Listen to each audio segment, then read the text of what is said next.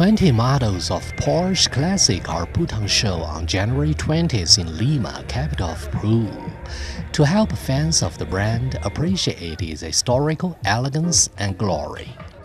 Me parece genial porque hay un poco del lado moderno de Porsche y del lado antiguo de Porsche. Entonces uno lo puede ver en todos sus matices, el lado clásico, el lado moderno, de todo un poco.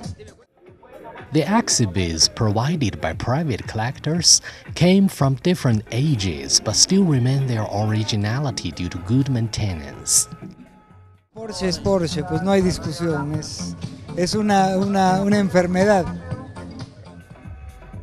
Since 1948, sporting essence and sleek design have made the luxury brand a legend among its fans, including those in Peru, an emerging market where more than 172,000 automobiles were sold in 2015.